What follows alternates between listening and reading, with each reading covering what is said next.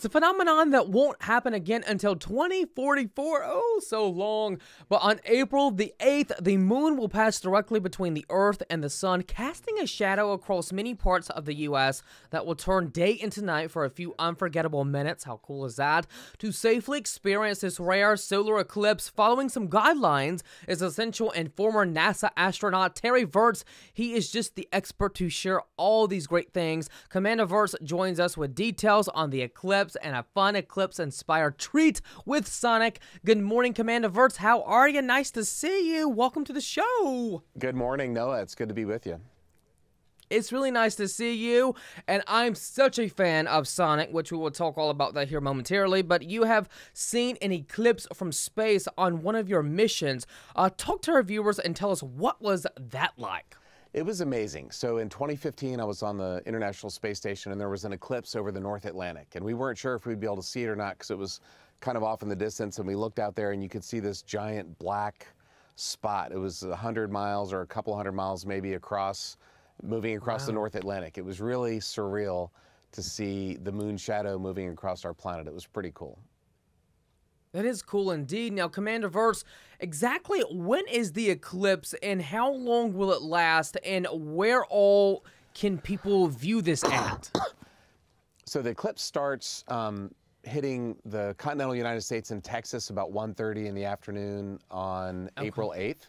It takes a little bit over an hour to go from Austin, Dallas, through Cincinnati and Cleveland and Buffalo. It leaves Maine about 3.30 in the afternoon East Coast time.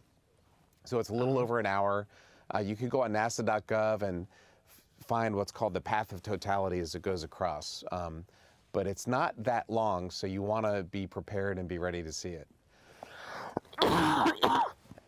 And as we're uh, taking a look behind you, put your uh, glasses on right now because the solar eclipse is right behind Tarek. No, I'm, I'm, I'm playing with you. That, that's so funny. I I love the background and I love Sonic, and we're gonna talk all about that. So, what are you sipping on over there uh, with Sonic? Yeah, it's very cool. I'm partnering with Sonic. I love Sonic. Uh, when the kids were growing uh-huh. up, we used to go, you know, after a baseball game or basketball game to see uh, to get a treat there.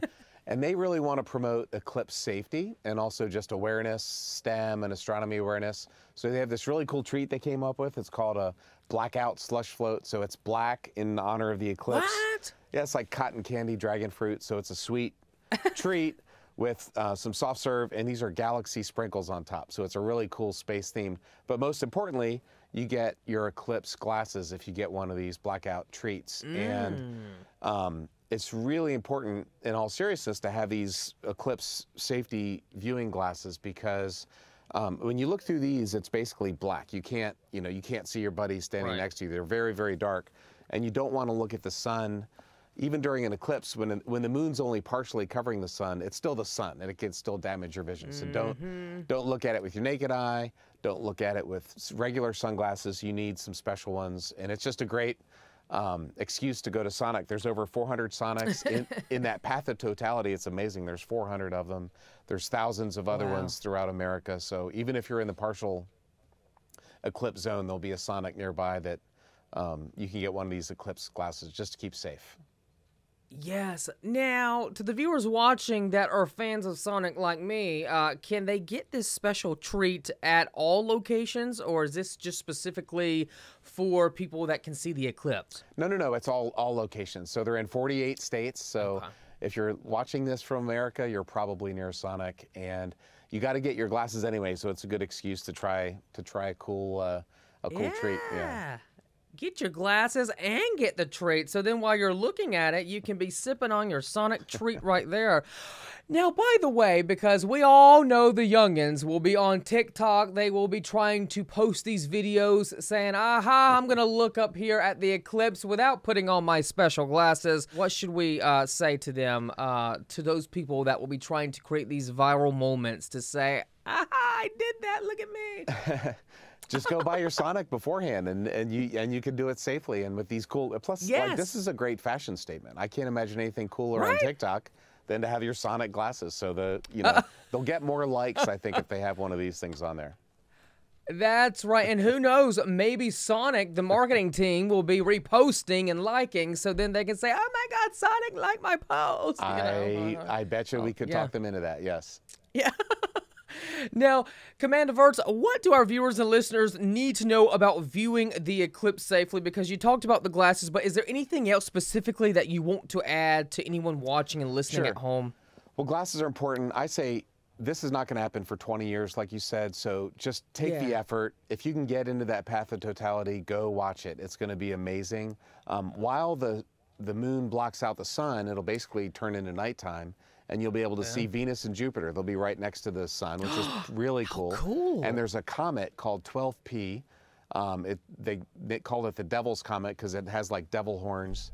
You may not see that with your eyes, but if you have a pair of binoculars, you can probably see that. Now, don't look at the sun with binoculars because that can be really bad. But look, it's just off to the left. You'll you'll see this comet. Um, so there's some really cool things to see besides just the sun. But the sun, trust me, I saw the 2017 eclipse from Earth, um, not from space, and it was incredible. It's absolutely worth seeing.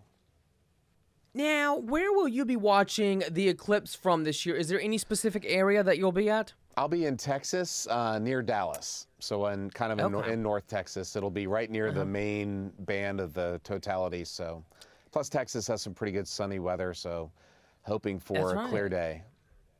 Yeah, absolutely, for sure. Now, Commander Virts, tell us where can the viewers and listeners go to get more information about all the great things that we have discussed this morning with the solar eclipse and Sonic. So NASA.gov is a great website for just basic eclipse information. There's a lot of websites that have the eclipse information, but NASA, I'm kind of partial to the NASA website. And then SonicDriveIn.com is another great place to get your Sonic information, see where the nearest Sonic is uh, near to you here in America. Nice. We'll have both websites appearing below. Commander Virts, thank you so much for coming on the show. You take care, you have a great day, and enjoy viewing the solar eclipse this year. Thanks for having me on, and I hope hope the listeners get to go see it. It's going to be amazing. Absolutely. And by the way, you feel better. I I will. By hopefully by the eclipse, I'll be over this cold. That's right. All right, you take care now. Bye bye. Hi, Noah. Thanks for having me on your show. We have so many family traditions at home, but I think most of them revolve around food. And one favorite is a marble chocolate and vanilla pound cake that my mom grew up eating at home. I grew up eating at home, and now I'm making for my boys. It's per- perfect for any time of the year, but it's also amazing for Easter. And I just, whenever I think of Easter, I think of sweet things. You know, my pantry is like a treasure trove. There are a few ingredients that I just can't do without.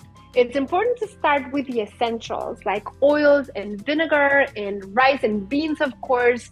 Some canned items like chipotles in adobo sauce, which I use on so many things.